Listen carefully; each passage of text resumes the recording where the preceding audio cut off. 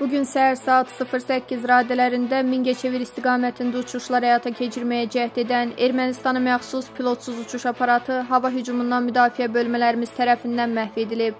Bu barədə Müdafiə Nazirliyindən bildirilib.